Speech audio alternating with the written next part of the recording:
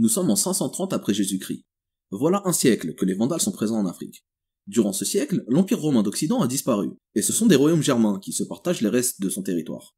L'Empire romain d'Orient par contre est toujours là. Il est ce que les historiens modernes appellent l'Empire byzantin. L'empereur byzantin s'appelle Justinien. C'est un empereur très ambitieux.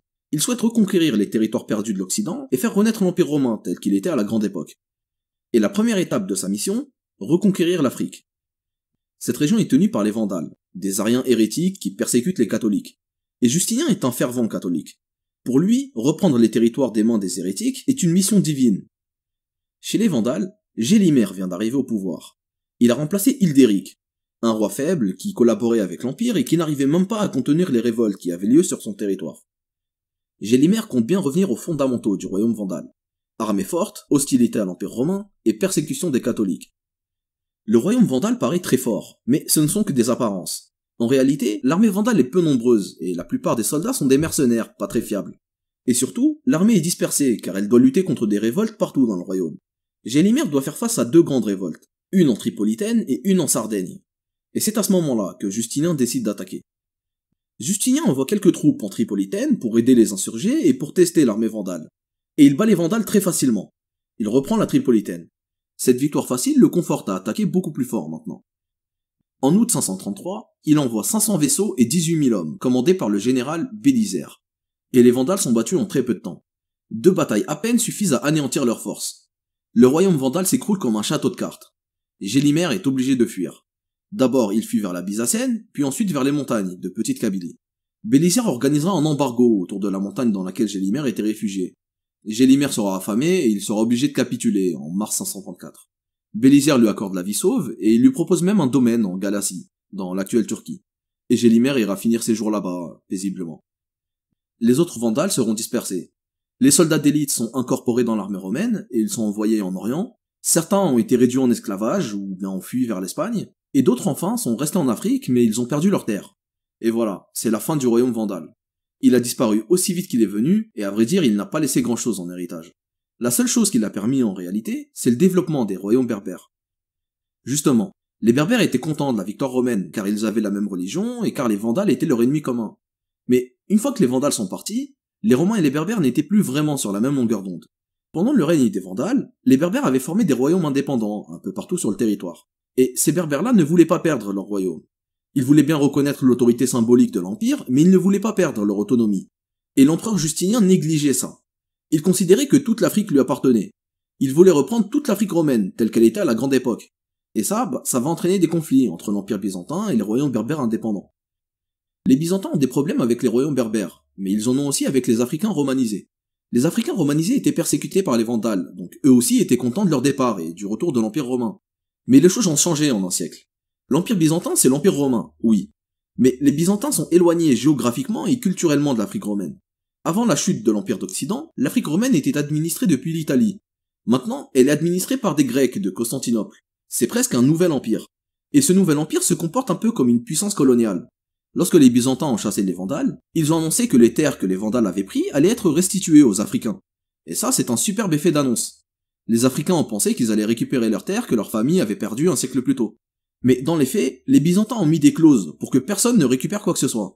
Pour récupérer les terres, il fallait présenter le titre de propriété de sa famille avant l'arrivée des Vandales. Mais les Vandales étaient là depuis une centaine d'années, et plus personne n'avait conservé de titre de propriété. Du coup, les terres conquises aux Vandales ont été prises comme propriété impériale. Et les Byzantins vont aussi persécuter la population pour asseoir leur autorité. Il existe un épisode assez méconnu de notre histoire, mais qui à mon sens a une importance capitale. Si on en croit les dires d'un chroniqueur qui s'appelle Procope de Césarée, les Byzantins ont décimé la population quand ils s'en sont installés en Afrique. Procope de Césarée avait accompagné Bélisère dans sa campagne en Afrique. Il était proche du pouvoir. C'était un peu l'écrivain officiel de l'Empire. Il a écrit un livre qui raconte la conquête et dans lequel il fait l'éloge de Bélisère et de l'empereur Justinien.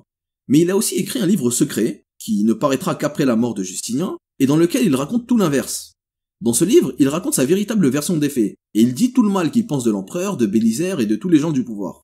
Et dans un des passages de ce livre, Procope dit que l'installation des Byzantins a entraîné une chute brutale de la population des Africains. Selon lui, il y avait dans la province d'Afrique deux peuples. Il y avait ceux qu'il appelait les Libyens et ceux qu'il appelait les Morts. Il ne décrit pas exactement ce que sont ces deux peuples, mais tout laisse à penser que les Libyens sont les Africains romanisés et que les Morts sont les Berbères, tels qu'on les connaît. Selon ses dires, avant la conquête, les Libyens étaient beaucoup plus nombreux que les morts. Mais ils ont disparu sous le coup des exactions de l'administration byzantine. Ça a laissé un vide, et les Africains ont été remplacés par des morts. Les morts sont justement ceux qui ont fondé les différents royaumes autonomes. Et les premières guerres entre les morts et les romains ont lieu tout de suite après la défaite vandale. En 535, quelques mois à peine après sa victoire sur les Vandales, le général Bélisère quitte l'Afrique. Il part conquérir l'Italie. En Afrique, il laisse le commandement à un de ses officiers, Solomon. À peine entré en fonction, Solomon doit faire face aux premières révoltes morts. Et ces premières révoltes ont eu lieu dans le sud de la Tunisie. Elles sont menées par un chef de tribu qui s'appelle Cousina. Solomon réussit à battre Cousina et le fait fuir vers les Aurès. Le roi des Aurès, Iodas, va accueillir Cousina et il entre en guerre lui aussi contre Solomon.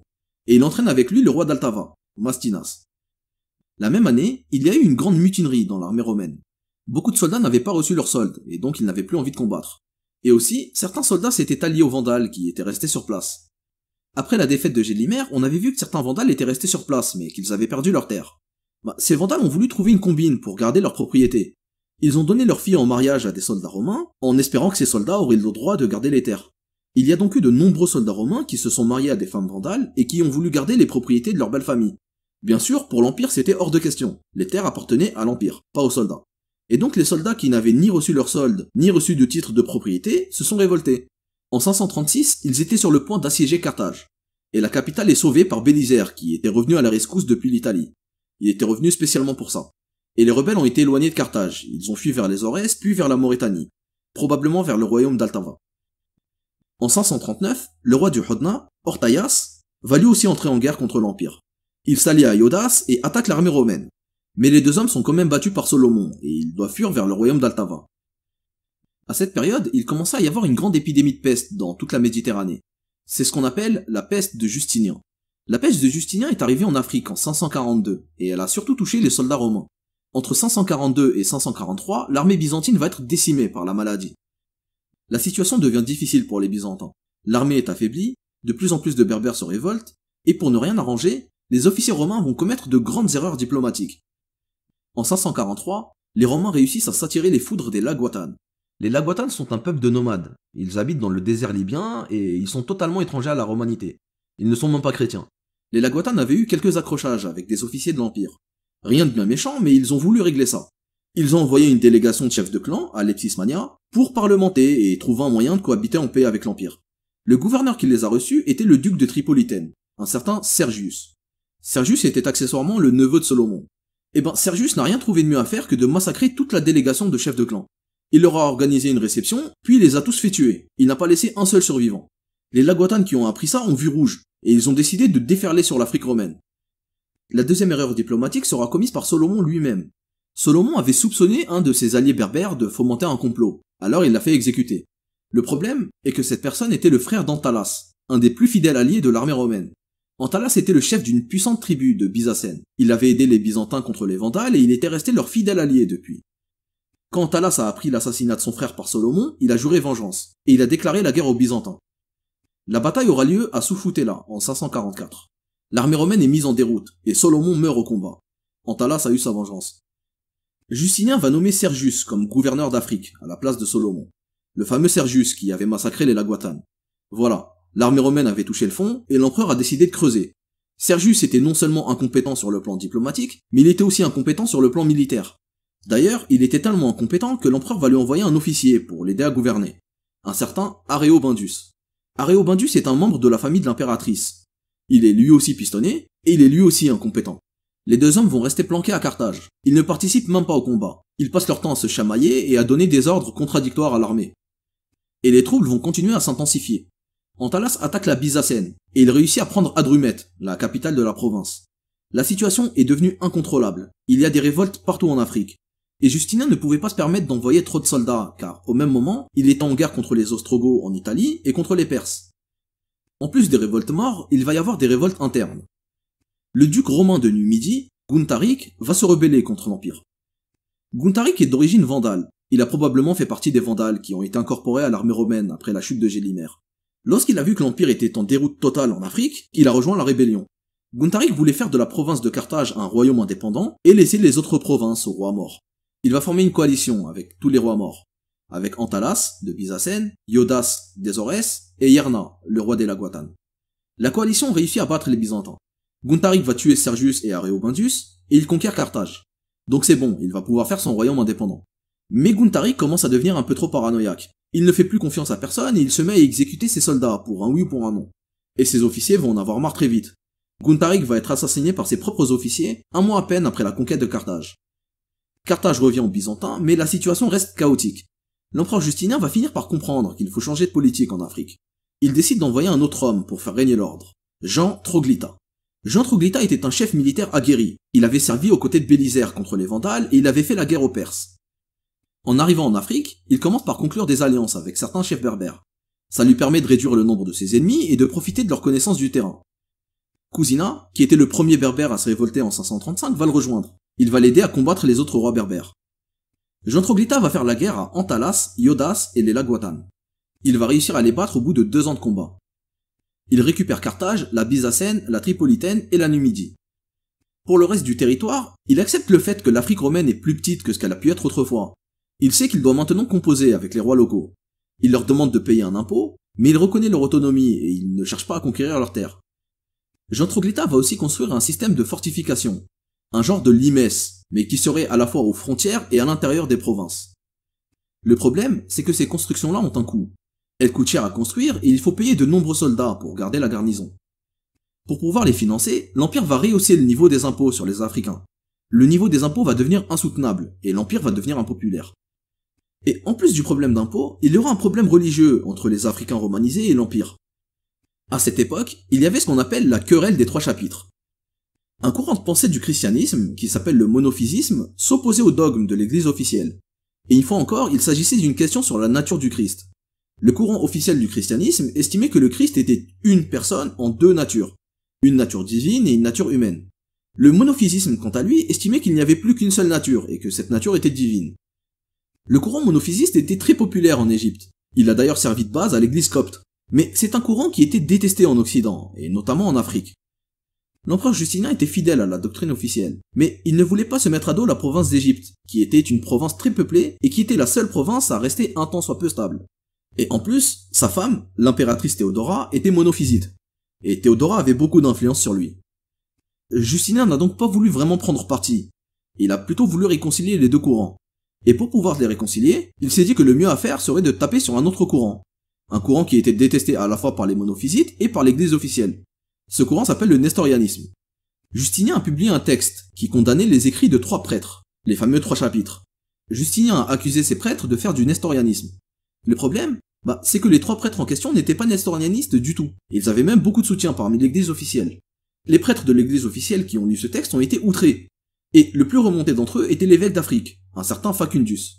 Facundus a carrément décidé de faire sécession et de rejeter le pape quand il a appris ça. Pour rétablir la situation, Justinien a fait exclure tous les prêtres de l'église africaine. Il les a remplacés par des nouveaux prêtres, venus directement de Constantinople. Des prêtres qui seraient fidèles à sa parole et qui ne le contrediraient pas. Des béni quoi. Et ça, bah, ça a fait perdre toute sa légitimité à l'église africaine. Le peuple d'Afrique ne voulait plus vraiment la suivre. Cette histoire peut nous paraître anecdotique, mais en réalité elle est très importante. Il faut remettre les choses dans le contexte de l'époque. Le peuple était très sensible à la religion, et surtout le peuple d'Afrique lui couper les liens avec son clergé local et lui ramener un nouveau clergé à la solde de l'empereur, bah c'est créer un fossé entre lui et l'empire. Les Africains se retrouvent entre deux feux.